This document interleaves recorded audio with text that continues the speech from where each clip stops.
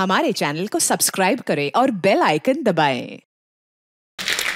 अच्छा आपका फ़ोन कौन उठा के जवाब दे रहा है? इसका भी पता चल जाता था कि कौन सी जनरेशन बात कर रही है। अगर तो बच्चा उठाता है तो वो साफ़ बोल देता है पापा बाथरूम में।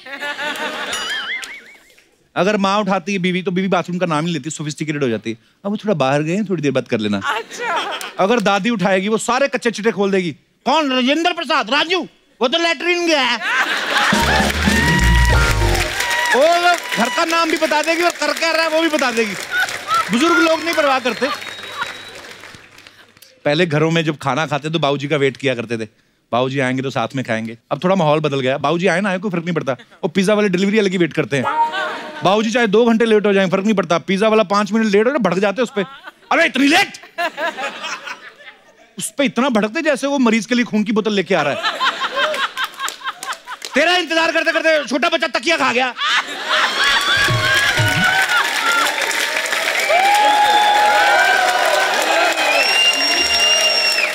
अब खा तो गया निकालेगा कैसे वो? जिन घरों में तीन जनरेशन होती है ना, महँगाई का अंदाज़ा भी इस बातों से लगाते हैं। कि हमारे टाइम पे तो दस रुपए का याद हो एक किलो। दूसरा बेटा बोला, पाँच सौ का तो हमने खरीदा बाबू जी तीसरा बोला था अब हज़ार हो गया, थोड़ा कम डालो। फिर हम जैसे मिडिल क्लास लोग तो अंदाज़ा इसी बात से लगाते हैं ना, कि घी वी से बाकी थोड़े अमीर लोग होते हैं, वो सोने का अंदाज़ा लगाते हैं उस समय सोने का ये भाव था। एक वो भी ब्रीड होती है, जो मोतियाबिंद से अंदाज़ा लगाती है। जो कहते दादाजी की आँख तो बनाई थी पच्चीस रुपए में बन गई थी। पिताजी के टाइम दस हज़ार की हो गई। अब तो पच्चीस हज़ार खर्चा है, फिर भी आँख के सामने फुटबॉल घूमता रहता है। वो अपने हिसाब से अंदाज़ा लगाते हैं महँगाई का। अच्छा बड़े परिवारों में ऐसे होता ना कि नई बहू आती तो उसको सोने का कड़ा देते हैं। बोलते बेटा तेरी सास भी यही पहनती थी। आगे उसकी सास ने भी उसकी सास को दिया होता है। जिनके पास बजट अच्छा होता है वो सोने का कड़ा दे देते थे। हम जैसे परिवारों में वो कड़ा ही देते थे। बेटा तेरी दादी ने भी इसमें पूड़ियाँ तली थी। तेरी माँ ने भी इसमें तली है अच्छा। आगे तेरी बहू भी इसमें तलेगी फिर एक जनरेशन ऐसी आती है जो नशेड़ी निकलती है वो फिर कढ़ाई बेच के बोतल ले आती है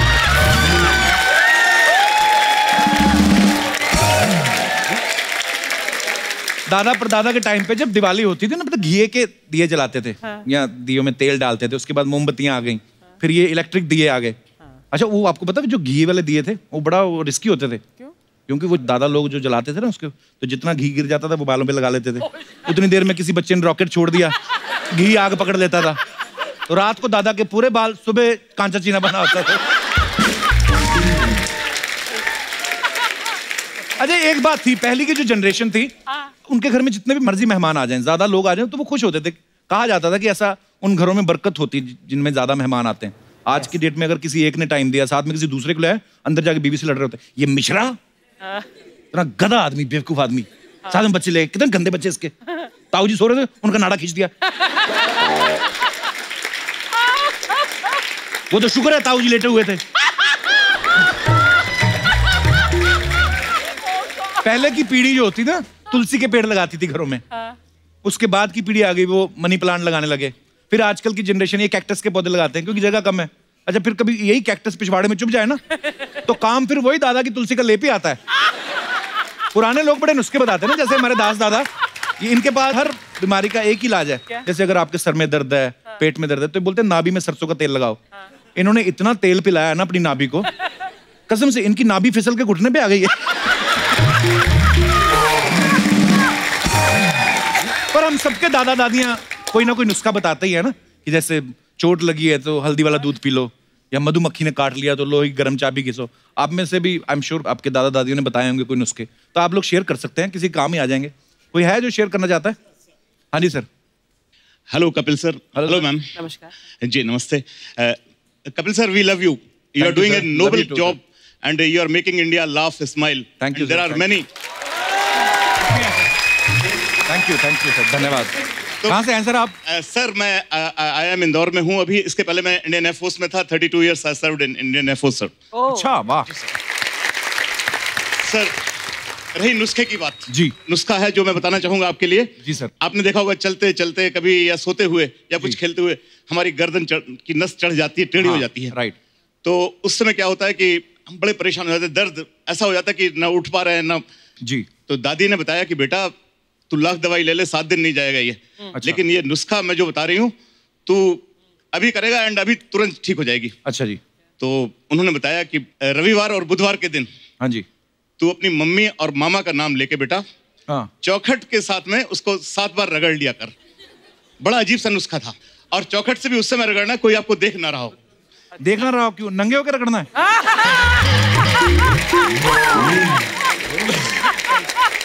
तो मतलब ये अरे उसके पीछे लॉजिक क्या था जैसे? सर एक्चुअली क्या है कि आप उस समय की जब कोई सुबह का समय हो या शाम का समय आपके ऊपर किसी की नज़र ना नज़र ना पड़े। नज़र ना पड़े। नज़र ना पड़े। दैट इज़ इट ये पहली बार सुना मैंने सर पर ये सुनने के बाद मेरे को एक विजुअल आ रहा है कि हमारे हिंदुस्तान में कई लोग ऐसे चौकट पे पूछो आप। करेंगे। ऊपर से ये भी ध्यान रखना कि देखना रहा। नहीं नहीं नहीं लेकिन सर मैं आपको एक्चुअली ना बनाया इसलिए होगा दादियों ने। अगर तो ठीक हो गया ठीक है नहीं तो कौन सा किसी ने देखा? शुक्रिया शो में आने के लिए धन्यवाद। और कोई हमारे दोस्त अपनी दादी माँ का नुस्खा शेयर करना चाहते हो? जी madam. Kapil sir, you are doing super job. Oh thanks babe ji. Uh, Kapil sir usually सबकी दादी uh, ठीक होने के लिए नुस्खा देती है। जी। बट मेरी दादी ने बीमार होने के लिए मुझे दिया था। क्यों? क्यों एक्चुअली बचपन से हमें बोर्डिंग स्कूल में डाला गया था। अच्छा जी। तो समर वेकेशन होने के बाद जून में स्कूल स्टार्ट हो जाती थी तो अच्छा वो स्कूल जाने के लिए वो मन नहीं रहता था तो दादी का था सपोर्ट कि यार बच्चों को रहने दो घर पे इस टाइप का। अच्छा वैसे फिर प्यार में? प्यार में। तो फिर दादी ने कहा कि मुझे बताया कि बगल में प्याज रख दो रात भर। हाँ ये मैंने भी सुना है। उससे बुखार होता था सच्ची में? नहीं बट एक्चुअली मैंने रात भर रखा वो प्याज सुबह तक कुछ भी टेम्परेचर नहीं आया कुछ भी नहीं हुआ मुझे। लगता है बुखार नहीं होता था वैसे टीचर को स्मेल चल भाग यहाँ से क्या है? है फिर दादी ने कहा नसवार ले लो उससे छींक आ जाएगी। अच्छा। फिर मुझे वो छींक स्टार्ट हो गई। फिर दादी ने मेरे कन्विंस किया मेरे पेरेंट्स को उसको छींक से थोड़ी ना छुट्टी मिलती है आपको? नहीं फिर उन्होंने कन्विंस किया कि अब इसके सिम्टम्स लग रहे कि ये बीमार हो जाएगी। अच्छा। आठ दिन उसको घर पे रखते हैं फिर बाद में बोर्डिंग स्कूल डाल देते टीचर वैसे खुद भी भेज देते ज़्यादा छींक मारना। नहीं। टीचर के मुँह पे छींक मारो पेंटिंग हो जाए क्या नाम आपने बताया अपना? Varsha. Thank you Varsha. Show में आने के लिए धन्यवाद आपका। थैंक यू सो मच और कोई हमारे दोस्त जो अपने नुस्खे शेयर करना चाहते हैं? जी madam. Hello Kapil sir Hello. Hello ma'am मैं पिंकी शाह हूँ सांता क्रूज से। अच्छा जी। ओके बहुत-बहुत स्वागत है दादी माँ हमेशा बोलती थी कि बेटा याद रखना कि कभी भी पेट में कुछ भी गड़बड़ हो हम्म। या कुछ भी फीलिंग लूज मोशन जैसी आवे उठ के टॉयलेट चले जाओ। तो नहीं नहीं। हाँ। तो किचन में जाना और किचन में किचन में जाना? वो मसाले की जो डब्बा है हाँ जी। उसके अंदर जो राई रहती है राई। राइट हाँ। वो एक चम्मच राई ले लेना और ऊपर पानी पी लेना। अच्छा। सुबह सब बंद। सुबह ना रात में क्या करेगा आदमी? नहीं रात रा, नहीं रात से अच्छा रात- राई लेने से रात वो जो लाल रंग की छोटे छोटे दाने होते हैं हाँ, रात से जो फीलिंग आती है ना जो गड़बड़ की हाँ जी, हाँ जी। कम होते जाती है। अच्छा। हम्म, वाह। तो तब से मैंने आज तक आपने आजमाया वो नुस्खा उससे होता है ऐसे? हाँ हाँ। Very आप बड़ी अच्छी चीज़ बताई आपने। आप भी ट्राई करना। जब खराब होगा तब हाँ, ट्राई करेंगे। नहीं, नहीं, ज़रूर। ज़रूर मैंने सुना राई अगर कहीं फेंक दो तो वो उग भी आती है। पहाड़ बन जाता राई का। हाँ सुना। सही बात है। हाँ। चलिए बहुत अच्छा नुस्खा बताया। धन्यवाद पिंकी जी शुक्रिया। थैंक यू और कोई हमारे दोस्त? जी sir. Hello Kapil hello sir we are very much fan of you thank you sir sir मेरे को पीलिया हो गया था। अच्छा तो मेरी दादी ने कहा कि जाके पंडित जी से झाड़ा लगवा लो। फिर? और फिर मैं गया पंडित जी के पास। हाँ। उन्होंने झाड़ा किया मेरे को। उससे हुआ पीलिया ठीक? नहीं ठीक तो नहीं हुआ। और क्रोच पड़ गई होगी हाँ बढ़ गई हो। तो फिर? सात दिन करवाने के बाद जो मैंने डॉक्टर को दिखाया हाँ। तो डॉक्टर ने कहा इसको बहुत बढ़ गया अब जाके हॉस्पिटल में एडमिट हो जाओ। अच्छा। और कोई तरीका नहीं है अब तुम ठीक नहीं हो सकते। दादी का नुस्खा फ्लॉप। हाँ तो आपने दादी से पूछा नहीं मेरे हॉस्पिटल से आने के बाद?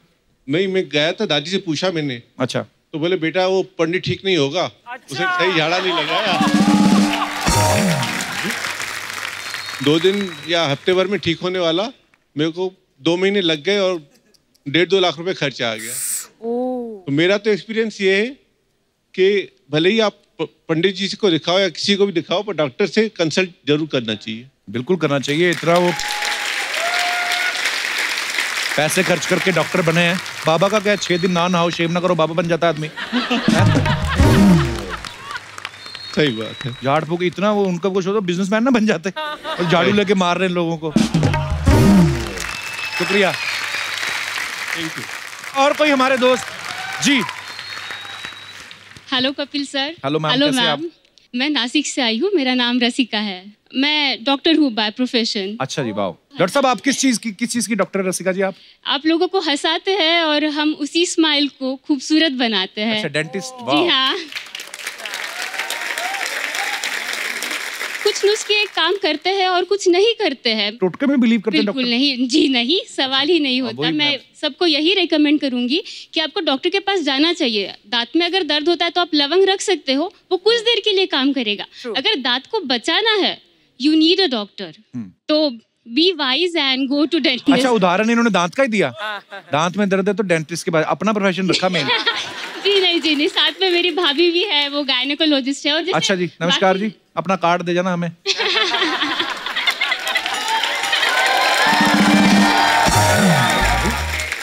तो भाभी से तो बात कराओ एक बार। हेलो भाभी जी। नमस्ते नमस्ते सर नमस्ते मैम। कैसी हैं आप? मैं ठीक हूँ। आप कहाँ करते practice Aurangabad Maharashtra Marathwada. Okay ma'am ऐसे नॉलेज के लिए पूछ रहा था ऐसे ही। मतलब आजकल कितने केस आ जाते हैं? रोज डिलीवरी कितनी हो जाती है? प्राइवेट में तो थोड़े कम आते हैं। गवर्नमेंट में ज़्यादा जाने लगे डिलीवरी गवर्नमेंट में ज़्यादा क्यों? अभी स्कीम्स गवर्नमेंट ने बहुत सारे फ्री के स्कीम्स निकाले हैं तो like like? Like like, Janani Suraksha Yojana ऐसे टाइप्स के बहुत स्कीम्स है। बड़ी अच्छी चीज़ है कईयों को पता ही नहीं होता। मैम ऐसे कुछ टिप्स दे जाओ आप आए हो तो। जो गर्भवती महिलाएँ हैं उनको क्या करना चाहिए? तो कुछ क्या ऐसे ही? क्या खाना चाहिए? क्या एक्सरसाइज करनी चाहिए? क्योंकि हो सकता है आपकी मान लें। है ना? न्यूट्रिशियस खाना चाहिए पूरा अच्छे से आठ घंटे सोना चाहिए। अच्छा जी। जो योगा वगैरह है प्रॉपर प्रेगनेंसी के लिए वो करने चाहिए। जी। और रेस्ट सबसे इम्पोर्टेंट है स्ट्रेस फ्री रहना हाँ और रेस्ट स्ट्रेस लेना। फ्री आई थिंक तो पति देवों को स्ट्रेस बिल्कुल नहीं देना चाहिए अपनी बीवियों को। अर्चना जब आपकी वाइफ प्रेग्नेंट थी sorry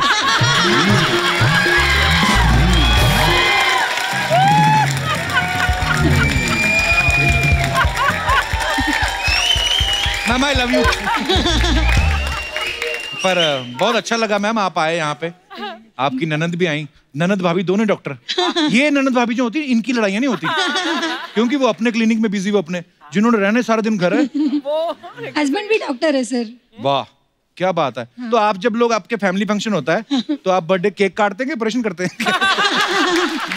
मतलब। ऑपरेशन ही करते हैं सर पर कितने आपकी जब वैसे फैमिली फ़ंक्शन होता है कितने डॉक्टर होते होंगे ना? हाँ, एक्चुअली हमारे फैमिली में पूरे दस बारह डॉक्टर है। वाह। बहुत अच्छा लगा आपसे बातें करके। बहुत बहुत शुक्रिया धन्यवाद शो में आने के लिए। Thank you for more update subscribe to our channel click the show links and enjoy watching the videos